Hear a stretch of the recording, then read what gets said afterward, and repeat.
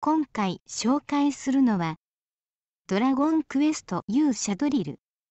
小学校低学年向け算数編という本です。かなりおすすめ。小学3年生男子に購入しました。対象は2年生とありましたが、中身はただの計算問題だけではなく文章問題や図形問題があり、3年生でもちょうど良いレベルでした。うちの子は長文問題が苦手なのですが、ドラクエの問題だと長文でも自分で率先して読んで解いていました。冬休みの宿題よりもこちらのドリルをやる始末です。本当に買ってよかったなと思いました。ぜひもう一個上級のものか国語編など出してほしいです。とても良い商品です。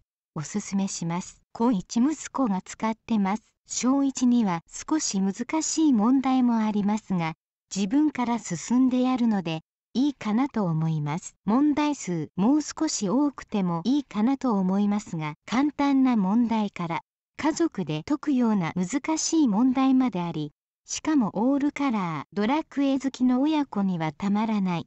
算数の問題集でした。シリーズ化してほしいくらいです。ドラクエの世界観で楽しい。とても良いです。大人向けも欲しい。紙の質感もドラクエっぽい？気がしてよい。このまま学年上向けも出していってほしい。以上。